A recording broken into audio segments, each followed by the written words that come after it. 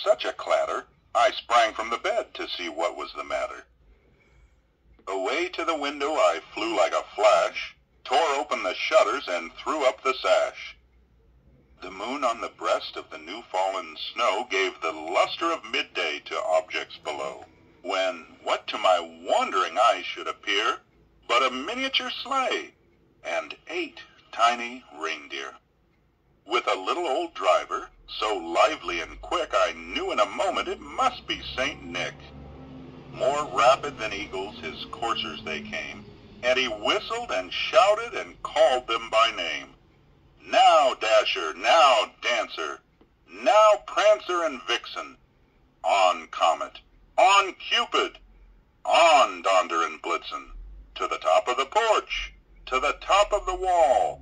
Now dash away, dash away, dash away all.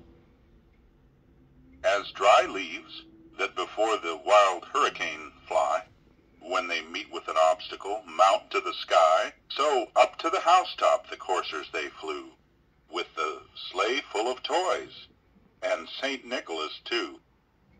And then in a twinkling I heard on the roof the prancing and pawing of each little hoof. As I drew in my head and was turning around, down the chimney St. Nicholas came with a bound. He was dressed all in fur from his head to his foot, and his clothes were all tarnished with ashes and soot. A bundle of toys he had flung on his back, and he looked like a peddler just opening his pack. His eyes, how they twinkled, his dimples, how merry. Cheeks were like roses, his nose like a cherry.